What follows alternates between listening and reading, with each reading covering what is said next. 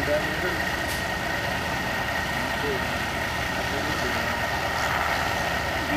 you.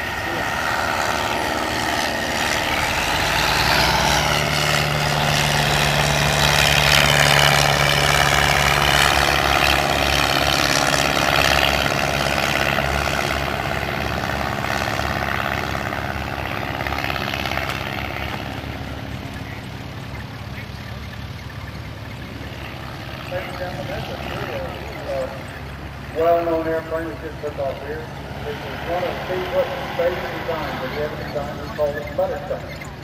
This uh, particular airplane, it just has a lot of the local people here in Oshkosh know some of the characteristics of this airplane, and it's almost uh, it's almost unbelievable the performance that this airplane has when uh, Steve built it many years ago. This uh, Buttercup. The only other existing Buttercup is in the museum here in Oshkosh, over there Wittman Hangar.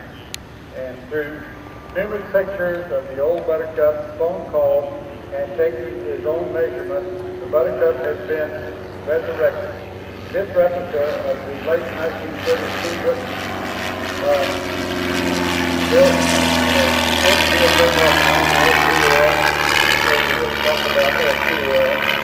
and uh, his name Buttercup. Since no plans for the original were ever created, Earl Lucy has uh, resurrected the Buttercup without, uh, without any plans more than 60 years after her first flight here in Moscow.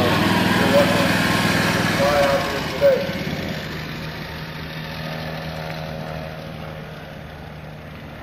Earl has this airplane here. Uh, uh, it bears a striking resemblance to the Wittman uh, Buttercup pictured, uh, or we invite you over at the museum.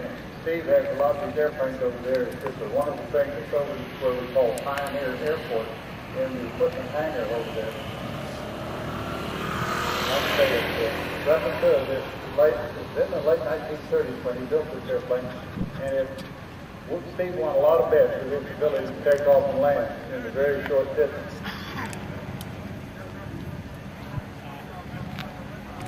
I forget what the number, Steve had an 85 Continental in this airplane when he built it. I say Sammy uh, and he, uh, he told me, I think he told me he was cruising over 140 miles an hour with that 85 horsepower engine.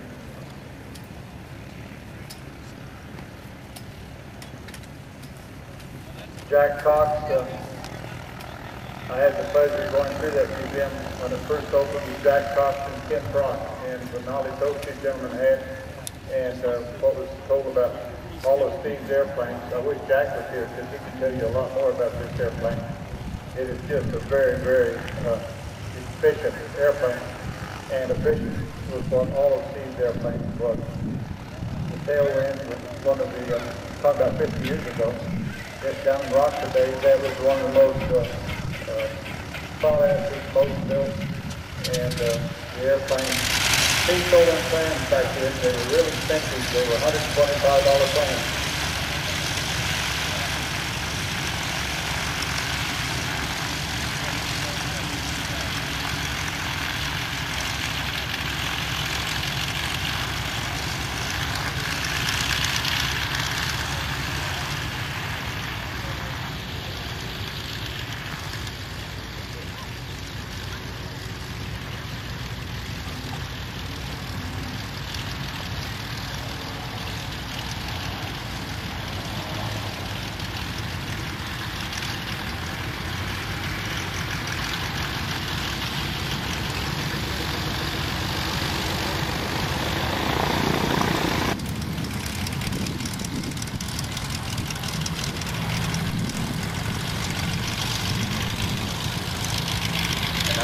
Gentlemen, if like uh, to have your attention, please, as we get ready to fly EAA's Missing Man formation.